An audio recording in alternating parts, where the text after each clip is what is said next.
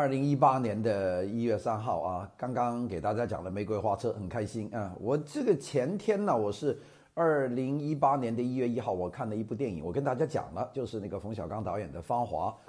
我说一个历史有很多侧面，这些不同的侧面呢是可以反映一个历史真相，所以呢应该，呃，这个可以看很好。那么我特别就提到了关于历史研究的方法，我记得我讲了这个历史有几个方法。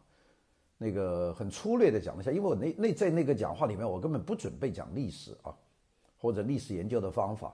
哎，有几个朋友就问了，你这个叽里呱啦讲了一大堆历史的方法，我没听懂啊，就问我这个历史的方法。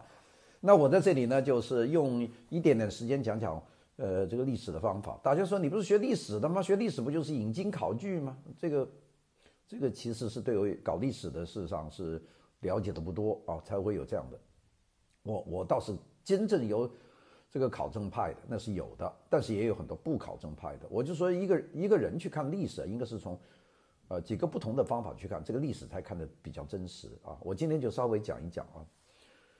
我们在读历史的时候，或者我们在中学、在大学读历史，大部分的时间都是在国内读的。国内的治史的方法呢？呃，如果严格的讲，就是马克思主义历史唯物主义的方法，也就是说，用这个阶级观点和用这个经济基础就做成一个框架。所谓框架就是一个 framework，也就是也就是一个这样的构造。那么原则上有很多东西是已经呃确定的，比方说农民运动一定是把历史往前推进的运动，这个是肯定的。那个就不管什么样的，只要是反朝廷，那都是好的运动啊，这个是一个特定。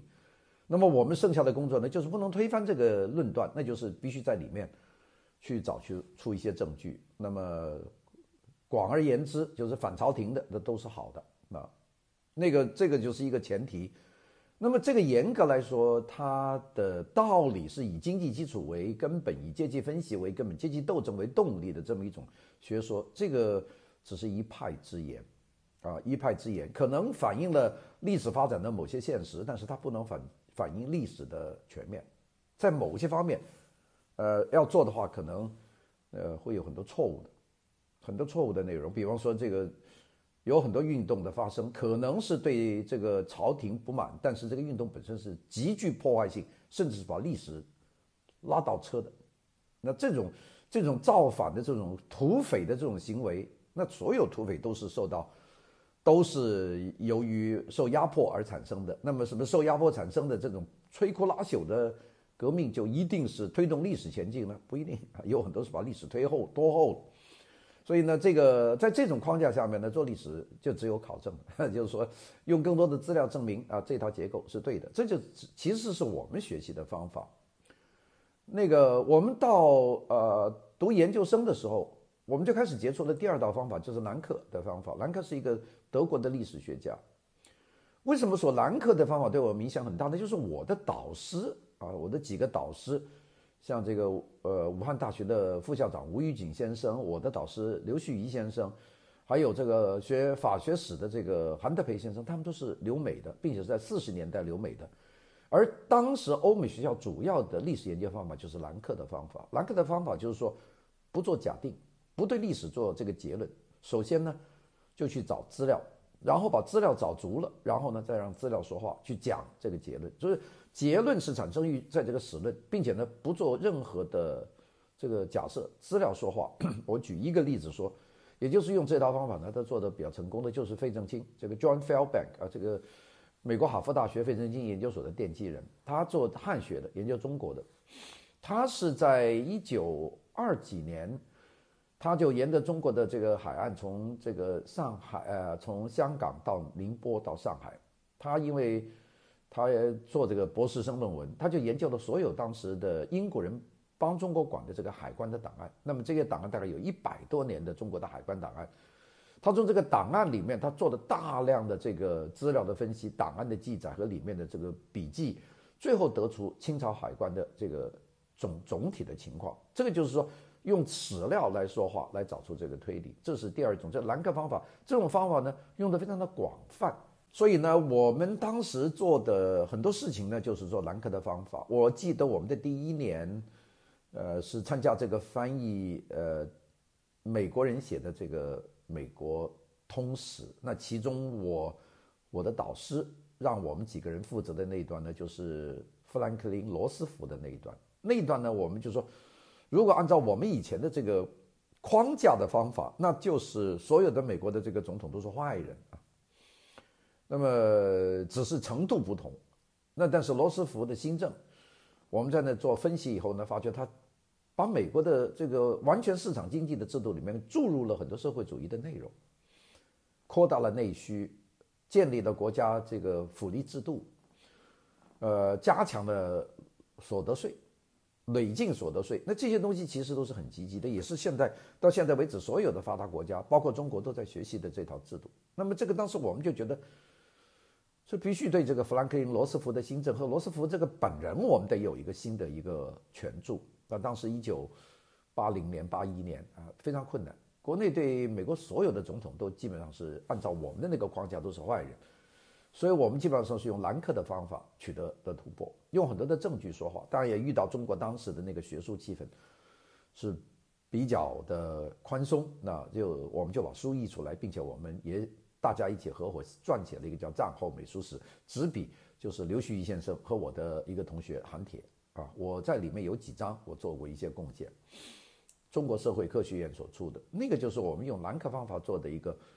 第一步的成就。后来我做这个史蒂威在华使命，也是用这个方法，也没有设定那个，然后通过大量的看这个档案，特别是美国陆军部啊，当时美国这个呃国防部在战争的时候不叫国防部，叫做战争部啊，War Department。呃，通过战争部的陆军呃陆军这一部分的这个当时的档案，还有这个国民政府搬到台湾的大西档案。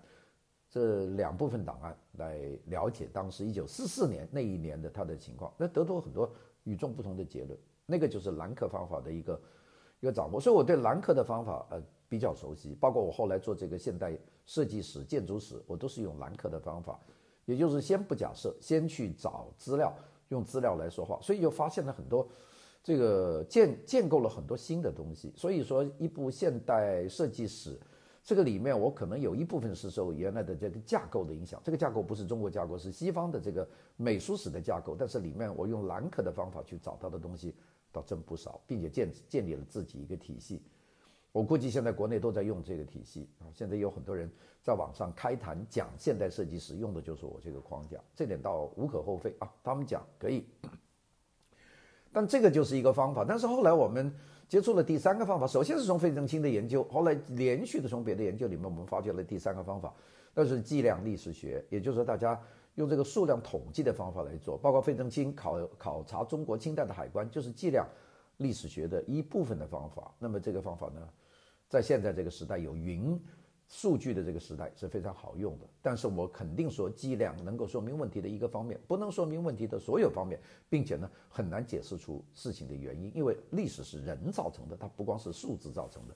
但是这是我们接触的第三个方法，第四个方法呢就是社会学的方法，也社会历史学，也就是说从很多个人的动因去分析一个历史的结构。那么这个包括我们说这个《芳华》这部电影，大概也是属于这种。从某个角度去看这个历史当时的恩恩怨怨，那这算一个部分。那么这个既这个社会学的这从心理学啊，或者从社会的组群啊、阶级划分，这些都有社会学的一个研究的层次，就构成了这个历史学的这个第四个侧面，就社会历史学。然后马上就移进了第五个，就是口碑历史学 （narrative history）。口碑历史学呢，就是通过各种人的这个回忆录啊、口述来记录起来。那么这个已经很多了，包括现在这个 BBC 做了很多工作啊，是这个美国的这个 PBS 也做了很多工作。那么现在中央电视台或者凤凰卫视都做这个口述历史。那么这个其实是在积蓄我们的历史。